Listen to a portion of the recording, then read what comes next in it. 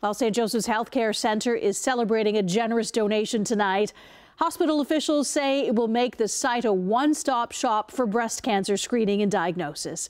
Maria Saru has the details.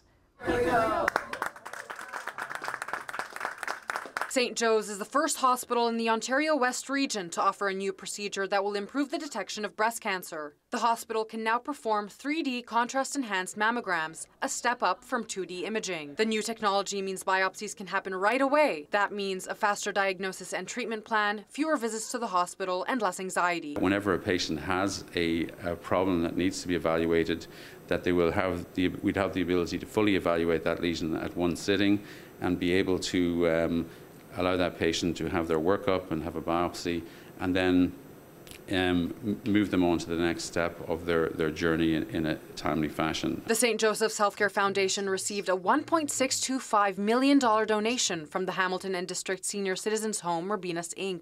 The money was generated through the sale of the seniors' home and was used to buy two new state-of-the-art diagnostic imaging machines. Loretta Stankus was instrumental in organizing the donation. She says the majority of the tenants in the Robinas Inc. building were women, so it made sense to support women's health care in the community. I think it'll make the whole process of the um, mammography and the biopsy process a lot easier, less stressful for women. They'll be able to actually see more women and diagnose hopefully the cancers earlier. In Canada, one in eight women will be diagnosed with breast cancer during their lifetime.